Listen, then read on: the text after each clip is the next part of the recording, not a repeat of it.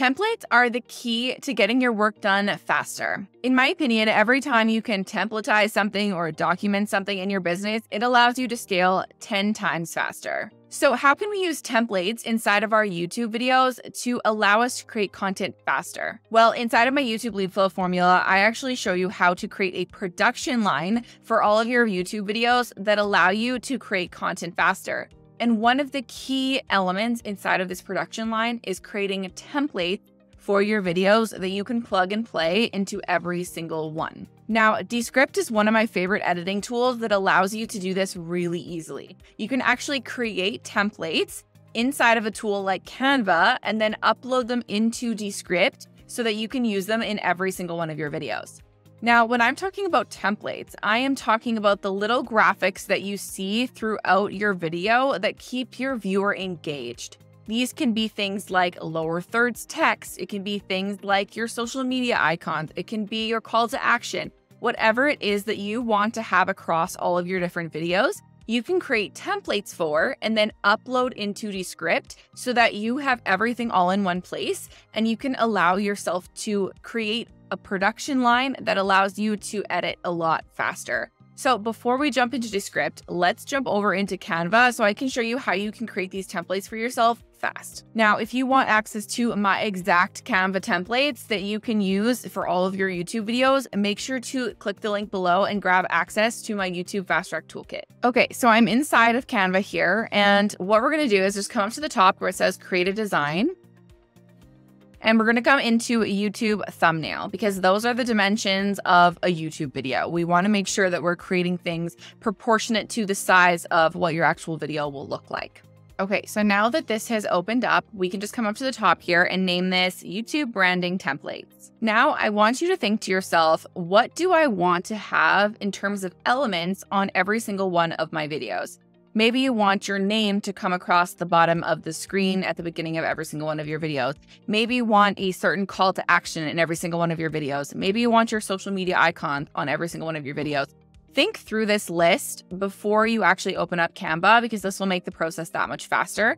But for the purposes of this video, I'm going to show you how to create your name, your social media icons, and a call to action that you can use in every single one of your videos. So for your name, let's come over into the elements section and let's just grab a simple shape. We're to do a simple square here. So when I grab that, you can see it plops onto the screen here. Now you can kind of play around with the shape. So let's say I want it a little bit longer, maybe a little bit thinner here. And then in the middle, I want to add my name. So I'm to say Melissa Mitchell, and then I'm to say YouTube strategist because that is what my title is. So here I'm to make this uppercase, and then I'm also going to make it bold, and we can change the font. So let's say we want to use League Spartan as the font, okay? So you would want to use your brand font here, obviously. And then we can also change the size. So let's make this bigger. And let's also say I want to change the color from this green to maybe uh, a nice pink or maybe a lighter green like that. There we go. Perfect. So now what I'm going to do is I'm going to drag it to where I would want it inside of my video. So I would probably want it on the lower left-hand corner like this, maybe not quite this big. So I'm gonna make it a bit smaller here. Maybe this way here. And then I'm gonna have to make the font a little bit smaller so that it fits. maybe I want it about like that. Perfect. And you can do other little things here as well if you wanted. Maybe I want to add my logo to it. So I could come into here and grab my logo. Now I already have mine loaded, but you would want to come up into here and say upload and then grab your brand asset or your logo from your computer. But then we can just kind of add some different things in here, right? So let's say this is a white logo. So I'd again want to create another graphical element here. Maybe I want it to be another square. And I want this one maybe to be pink and again, just drag it over here to match alongside my other one. There we go. Now this is over top of my logo itself. So if I just hit, if I hit right click on this actual thing come to layer, you can say send to back and you'll be able to see that it's there. And then I can just readjust my logo here. There we go. Now I have a perfectly good name or lower third that I can use as a template on all my videos. So let's leave that one. The next thing I'm going to do is say add page and we're going to create the next one.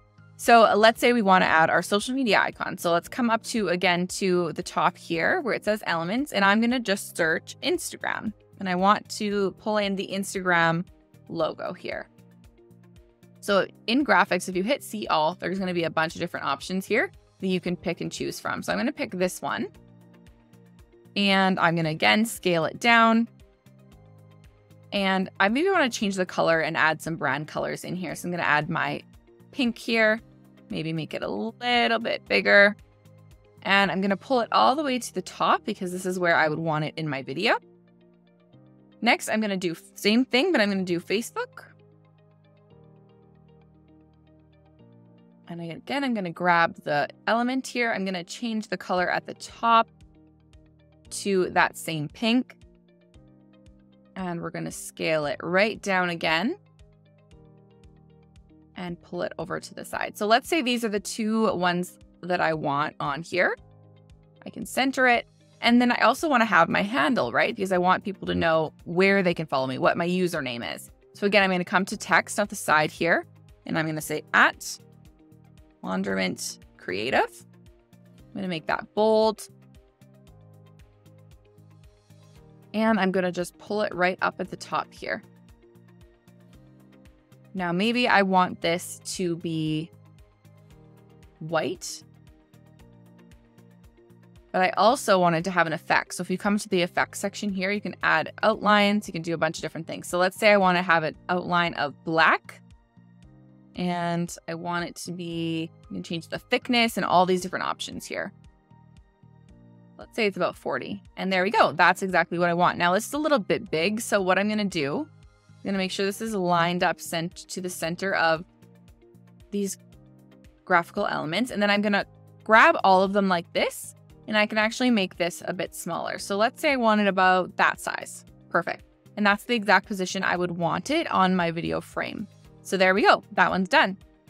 The last one we're going to do is we're going to hit add page again here, and we're going to add a call to action. Maybe we want someone to grab a freebie of ours. Maybe we want them to watch a webinar of ours, join our Facebook group, whatever it may be. So let's come down into elements again and let's grab an arrow because I want them to know that they can click the link below, right? So I'm going to grab an arrow. And maybe I want this one right here. This kind of fun, like drawing looking one. So I'm going to just turn it and scale it down a bit. Pull it up to the top here. And then maybe I want to have another element, maybe like a sticker element or something, like a sticky note. You can kind of have some fun here of what you want these things to look like because there's so many different options when it comes to Canva. But let's say I want this one here. This is kind of a fun, fun sticky note. And then I can come back up here and grab some text. And so in the text, let's say, join my Facebook group right? And so let's make this uppercased again, bold, and maybe we want it like that. The other things you can do here, of course, are the different spacing options within Canva as well. So if you want to make these lines a little bit tighter, you can go ahead and play with all the different tools in here. Let's say I want it kind of like this. And I also want this arrow to kind of hover over the side. Where would that look good? Or maybe like this, actually. Okay. There we go. And then I could change the colors of these, of course, to my actual brand colors. So let's change it to the dark, maybe the light, and then maybe I want to make this writing actually white now that it's on a dark group. There we go. So now, again, I can highlight all of it and scale it down to be a little bit smaller. And we can place it where we want to have our call to action. So maybe we want it here, maybe we want it over here, wherever we want it. I'm going to place it in the upper left to make it just a bit bigger. So there we go. Now we have our call to action, we have our social media handles, and we have our name.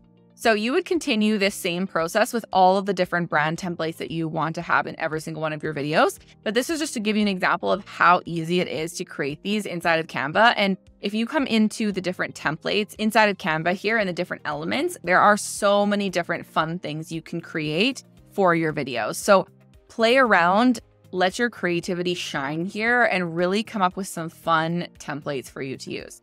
So once you've finished creating all of your templates, what you're going to do is you're going to come to the top where it says share. And this is what's really key. If you hit download here, there's going to be some different options.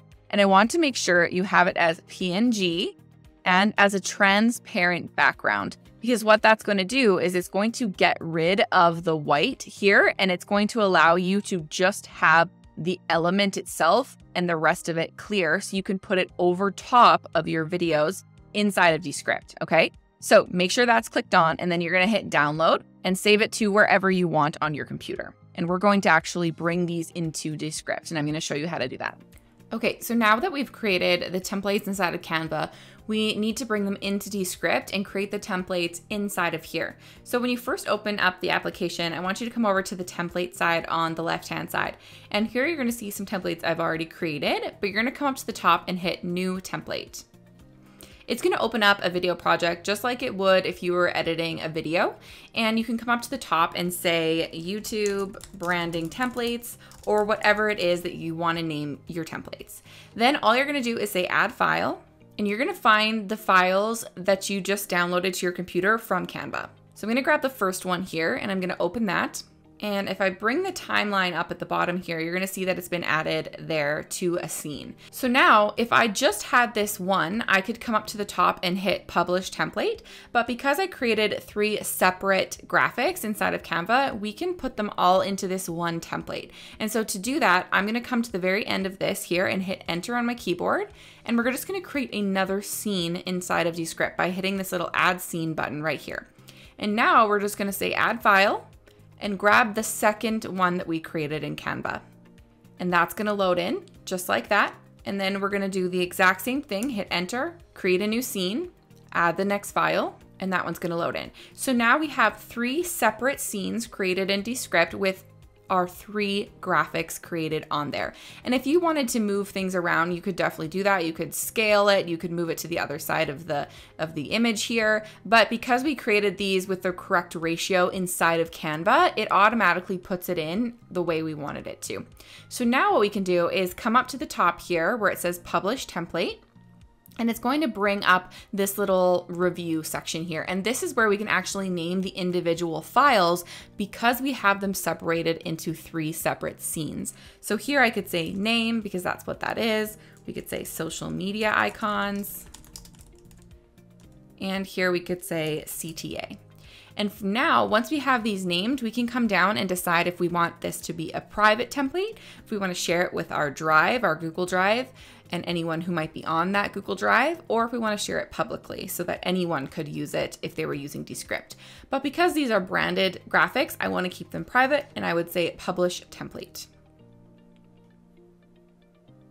Now, if we come back over into the main section of Descript, so back to projects, and in templates, you're gonna see that it's sitting right there for us to use. So when we go back into our projects and we say new video project, we'll be able to see at the top here under templates, if we scroll down, we'll be able to see the new YouTube branding templates that we just created and we could click in that. And then all we would do is drag it over into our video project.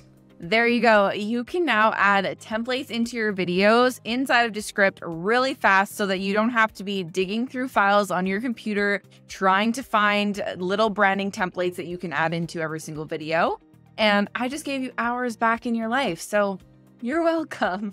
Remember that you can create templates like this in so many different ways. I just showed you Canva because that's the simplest way to do it. But you can create templates for literally anything that you want to do inside your videos and follow this exact same process.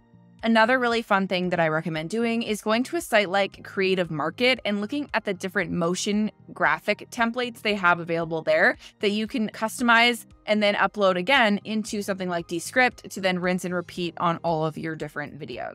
If you want to check out Creative Market or some of my other favorite places to find motion graphics, I'll make sure to link them in the description below for you. Now, if you're in love with Descript, just like I am, and you want to know how to edit your videos quickly in 20 minutes or less, make sure to check out this video right here, and we'll catch you next time.